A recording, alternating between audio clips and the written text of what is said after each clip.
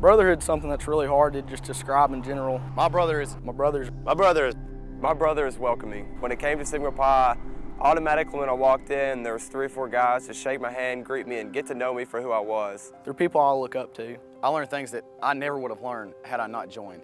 I am a Navy veteran, and coming up here, I really thought that I was just going to kind of just walk in and that I knew pretty much everything, but I have grown since I've rushed this fraternity. My brother is a gentleman. Taught me about chivalry, Taught me how to be a man. being polite, being respectful to people that you may not know. Uh, over the summer, I was just working back at home. I met somebody that I, had, I never knew, but the way that I carried myself and the impression that I made on that person, he actually offered me a job. My brother is somebody that I know is always down to have a good time with me.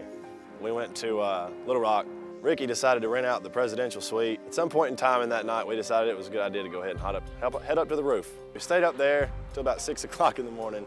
It was a good time. Oh, hell yeah. That's probably my second favorite memory in this fraternity.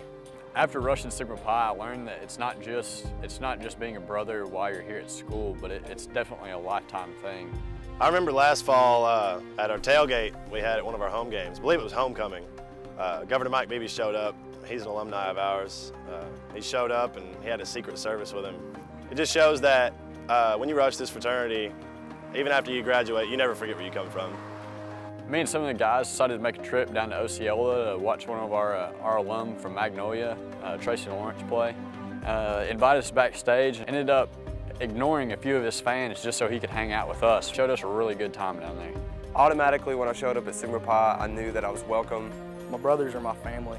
It, it takes you into a long run of actually improving yourself as a person. Uh, my brother's somebody who would let me borrow the truck to go to work at 8 o'clock in the morning, so because I have a flat tire. I knew that these were good guys and that no matter what, if I rushed this fraternity, that they'd be there for me. Uh, what being a Sigma Pi means to me is not only uh, bettering myself as a man, but bettering my chapter and, and the university and, and everything around me as a whole. I can call my brothers any time of the night if I need anything. You begin to realize that you know these are the guys that you're going to have at your wedding, and if they don't make it to your wedding, they'll make it to your reception. My brother helped me. My brother helped me. My brothers helped me make the best decision of my entire life. The best decision of my life was joining Sigma Pi. joining Sigma Pi. rushing this fraternity and becoming a member of Sigma Pi.